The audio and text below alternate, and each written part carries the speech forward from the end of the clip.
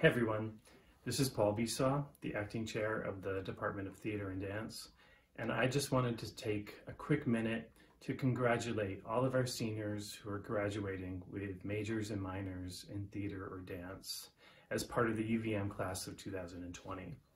I know that the end of this year didn't really turn out to be what any of us would have hoped for or expected, but I really hope you take the time to celebrate and feel very proud of all your accomplishments.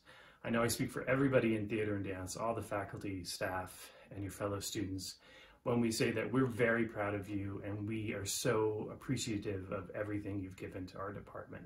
So take some time to celebrate with family and friends and be safe and be well. Congratulations.